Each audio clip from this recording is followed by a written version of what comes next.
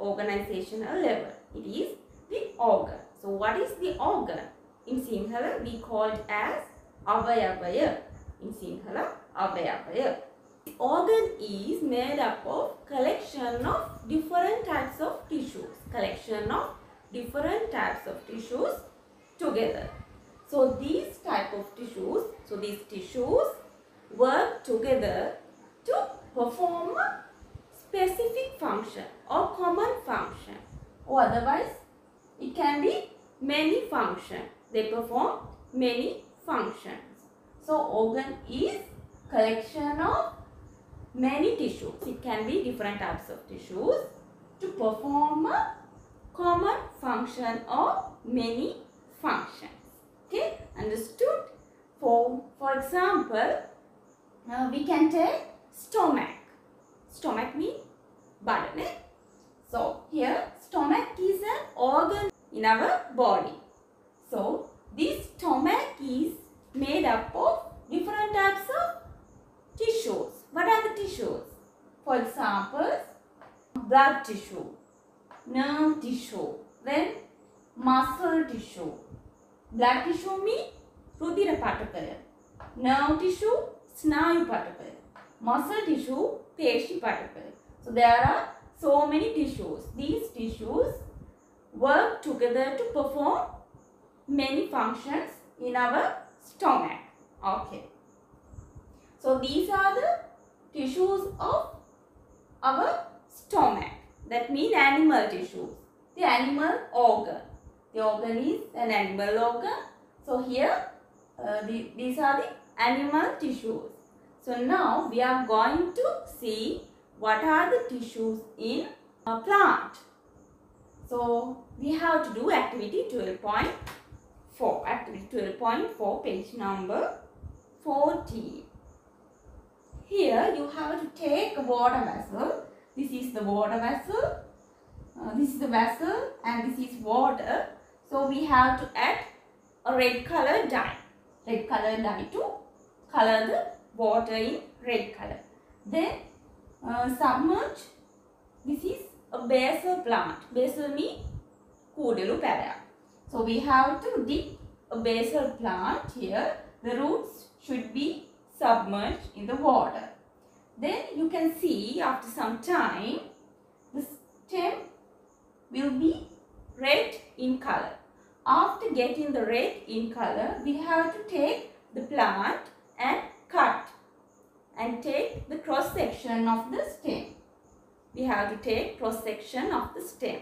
Then we can see what are the tissues in the stem. Okay, we'll see what are the observations. The following materials are required to perform this experiment. An ideal material for this experiment is balsam plant. Aqueous eosin solution. Ordinary tap water or distilled water. A tiny beaker. Blade. Petri dish. Glass slides and cover slips. Tweezers and pins. Dropper. Compound light microscope. Take a beaker filled with eosin solution and introduce the plant into the beaker. Leave the setup for a few hours. After a couple of hours, you'll notice that the leaves and stem of the plant takes up the eosin stain and appears reddish to orange in color. Now, remove the plant from the eosin solution and discard the root. Cut thin freehand transverse sections of the stem and collect them in a petri dish containing water. Select one thin section of the stem and place it on a glass slide containing a drop of water. Cover the section with a cover slip. Observe the section under low power and then under high power of the microscope. This is the cross section of the balsam plant. We have taken the balsam plant. So when we take uh, the cross section of the plant, we can see like this. There are so many cells, so many tissues. But here I have mentioned the main tissues we can see in the cross section of the plant. Okay, here we can see the red color portions. The red color portion, this is a tissue. We call this tissue as xylem tissue. Xylem tissue. So, this tissue transports water and minerals in the plant. Through the plant, it is transported water and minerals. Okay. Then you can see here another tissue. We called it as phloem tissues. Phloem tissue. So this tissue transports food throughout the plant. Transport food. So these are the main two tissues we can see in the cross section of the balsam plant. So there are many tissues but here we have mentioned only two tissues xylem tissue and phloem tissue. Um, okay. Now we have to do activity 12.5. Here we have to observe the cross section of the plant leaf using a permanent slide. So cross section of the plant leaf. Here we can see different types of tissues in the plant leaf.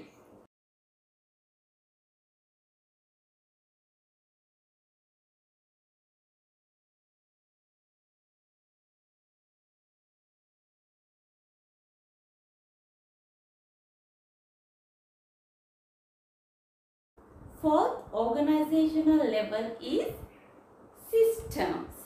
System means in Sinhala we call it as Paddhati. Paddhati. So systems. System consists of many organs. Many organs. It, it consists of many organs and it perform a common function or many function.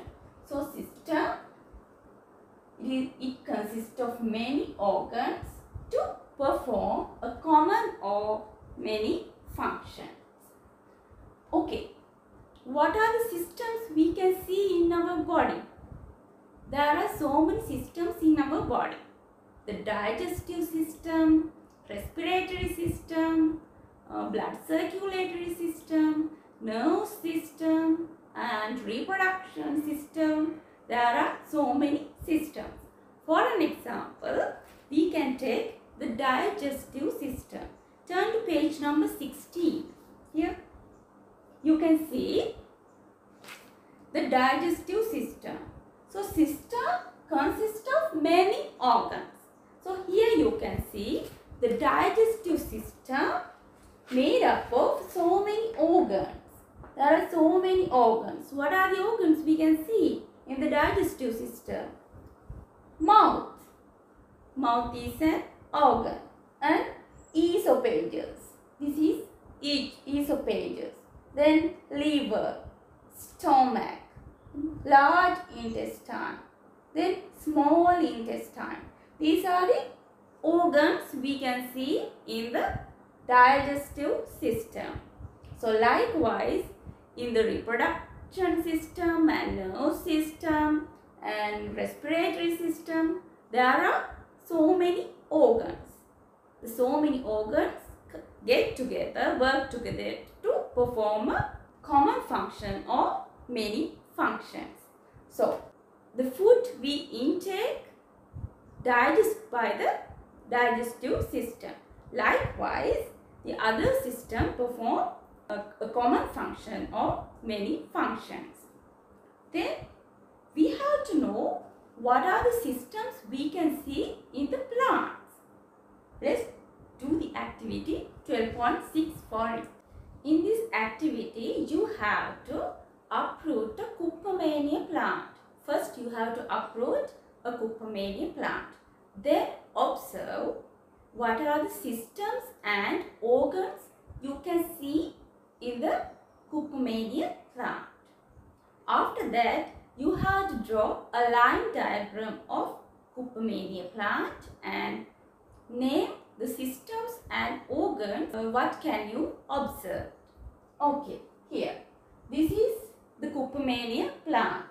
Then what are the systems you can see in this plant? There are two systems. You can see there are two systems. shoot system and root system.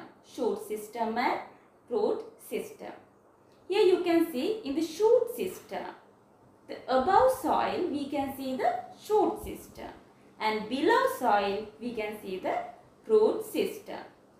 Then you can see that there are organs in the shoot system. What are the organs we can see in the shoot system? This is the stem. Stem is an organ of shoot system. Then leaves. Leaf is an organ. Then fruits. Flowers. Stem, leaf, fruits and flowers. These are the organs we can see in the shoot system of plant. Then look at the root system. We can see two organs of root system. These are the lateral roots. Lateral roots and this is taproot. So taproot and lateral roots are the organs of root system. Okay, now you know the systems of plant and what are the organs.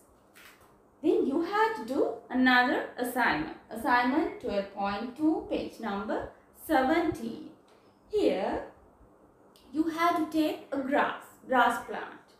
Then observe what are the systems you can see in the grass plant. Then draw a line diagram of grass plant like this one and name the systems and organs. Okay. The last complex organizational level is the organism. Organism means jivya.